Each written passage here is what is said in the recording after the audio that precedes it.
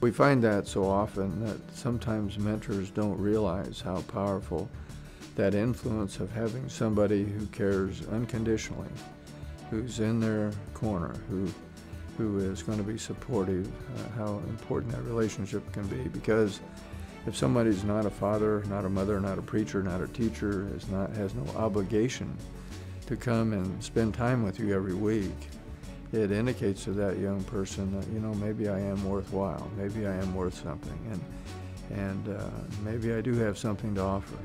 Most mentors will tell you that you know they really do get a lot out of that relationship, primarily because um, having done something for somebody that cannot do something for you in return uh, is a reward in itself, and uh, that relationship begins to take on a meaning that becomes very powerful.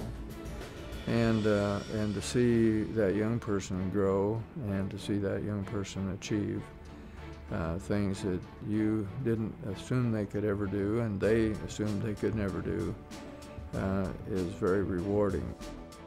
It's one hour a week, and it is one hour a week. So I would I wouldn't want to scare anybody away and say, hey, yeah, you're adopting somebody. You're not. But relationships happen, and change happens uh, in, in, those relationships for the good.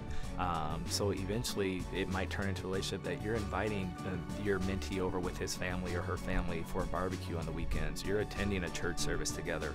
Um, you're sitting down for for meals ongoing. Uh, and you're part of the family. I thank the Teammates program for putting that relationship in my life.